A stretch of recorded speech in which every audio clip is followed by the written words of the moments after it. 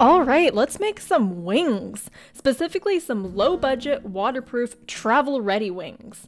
I made these ones in about three days for like $20, and since then they have been drowned multiple times and stuffed into many a suitcase for photo shoots and conventions across the globe.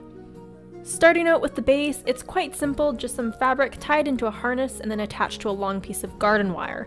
You can see here I've got the wire twisted around the fabric and have a good amount of the wire going down the back for support. To create the thicker top part of the wing, I hot glued a generous amount of polyester stuffing onto the wire.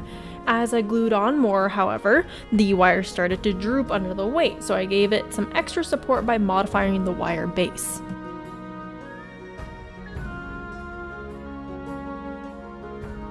Once more satisfied with the wire support, I got to shaping and trimming the stuffing until it looked like a nice strong wing bone. For the wing shape, I used interfacing fabric. This is generally used to make garments stiffer, but I've found it fantastic for wings because it's lightweight, waterproof, looks super angelic when lit from behind, and was only $4 a meter. Once that was pinned into place, I cut out another piece of fabric to cover the wing bone and sewed everything together. This here was the hardest part of the project, getting the fabric to smoothly cover the wing bone and lie flat took a lot of pinning and adjusting as I went. Unfortunately, it was also all hand sewn because there was no way I was getting a sewing machine in there. Finally, onto the feathers. I cut out a heck ton of different sizes, making sure to iron them out first since this fabric does crease easily.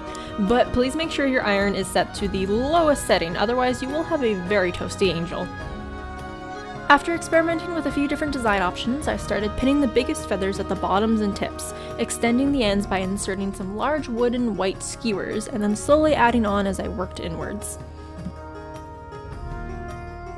This was by far the most time consuming part of the project, as each feather had to be pinned and then sewn into place, attempting to hide the white thread as much as possible with the placement of the surrounding feathers. As I got closer to the wing bone, the feathers got smaller and smaller, and I made sure to hide the seam with as many baby feathers as I could.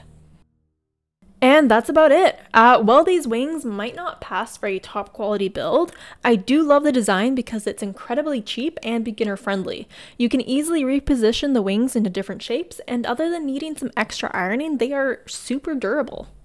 Thanks for watching, and let me know if you decided to make your own.